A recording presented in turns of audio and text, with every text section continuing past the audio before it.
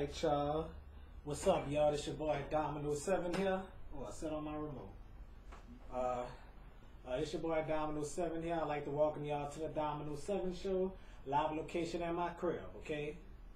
Well, today uh, I wanted to interview somebody, but unfortunately I am I, I ain't gonna have no guest today, okay? I empty studio, empty junky ass studio. Okay, I'll sit right here so y'all can see me see me better, okay? Alright, so today this is the Domino 7 speech episode, okay? So I'm gonna try to uh, give y'all a speech and try not to stutter, you know? Uh, if y'all see my other videos, y'all know I stutter sometime, you know?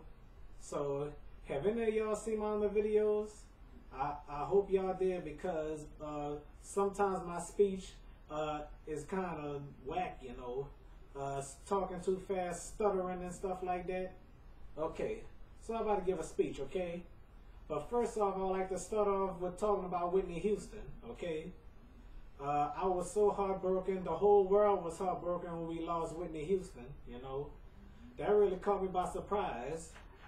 I got a phone call from my best friend when I when I took a nap. If, if y'all can see the phone, I got a I got a phone call from from, from my best friend Dwayne. Uh, called me when I was taking a nap in the bed there. You know. So uh, what happened was he called me. I said hello and what's up and stuff like that. Sometimes I answer, some, answer the phone and say what's up. For my stuttering if I did. You know. So uh, what I did was this. I said, "What's up, bro?" Uh, he said he chilling and stuff like that. And, and, then he asked me, "Have I heard about Whitney Houston?" I said, "What happened? She died." I'm like, "Oh Lord." I, I mean, I couldn't believe that. You know, I I woke up from my bed, uh, uh, got on the computer to see if it was true, and yes, it was true. You know, they've been showing uh, her videos and everything all day. You know and, and, and as y'all know, uh, I done an episode earlier uh, at, as I was watching Whitney Houston's funeral service, you know. So I don't really go to funerals. I don't go to funerals at all. I, am afraid of funerals, to be honest, though. So uh, as y'all know, that uh, uh, hearing about people dying, that, that that makes me so sad, you know. Because you know something, uh, I'm gonna tell y'all more about that later on another segment, okay? And today I'm going to be talking about my friends and family, you know. I'm going to be mentioning people's names, you know, uh, everywhere I go, you know. Uh, mentioning people's names uh, uh that appeared on my show and stuff like that, even appeared on my canceled episodes, you know. I don't know who those people are no more, you know. Hmm. I guess those people was mad at me because they didn't see themselves on my show because I didn't post it because of the memory card loss. But anyway, it's about Whitney Houston, you know. So uh, that, that she is right there, you know, on, the TV screen, you know. Yep, we all remembering Whitney Houston, you know.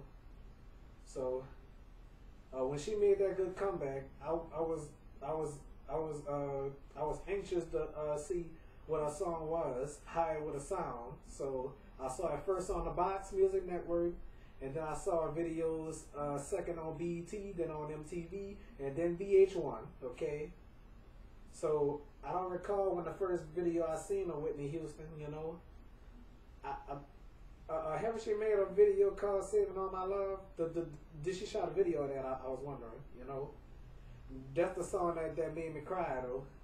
Kind of emotional. I, I, was too young to uh, think of true love though. All right. So after after all that all that singing and good music and stuff like that, I, I also liked that that song with Bobby Brown.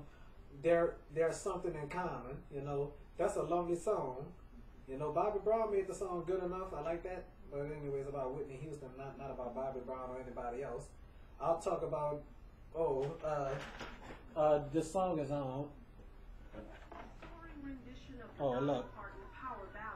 I Will Always Love You, rewrote the record books, reigning supreme at oh. number one for 14 weeks and selling over 4 million copies. Oh, yeah. She worked on that song with her. All right, so, so, so anyway, uh, let me finish giving my speech. Uh, well, I, I, I was so anxious to, uh, for, for, for y'all to see what I'm looking at. You know. I don't I I don't recall when, when when that first came out because I because I seen a video of it on the box and on MTV. You know.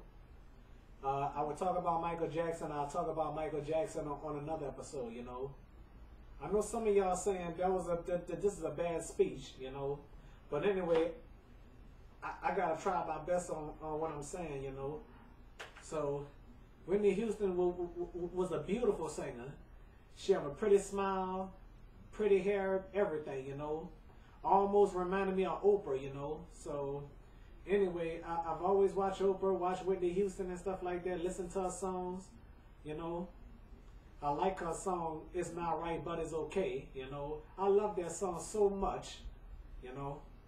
So, all I want to say is I want to thank you for, for, for all the all the good music you gave us. You know, you had my support from from the beginning to the end. Okay, so I don't recall how old I was when I first heard you. You know, so so that uh, uh, God gave you a talent, and I got and, I say God bless you. You know, and and, and I was very supportive of, supportive of you. You know, but. Uh, but but I wish I could have bought your albums, you know, because uh, I, I love your kind of music. Okay. So anyway, more to, to the Domino Seven speech. If I do it right, so your boy Domino Son will be right back. Okay. All right.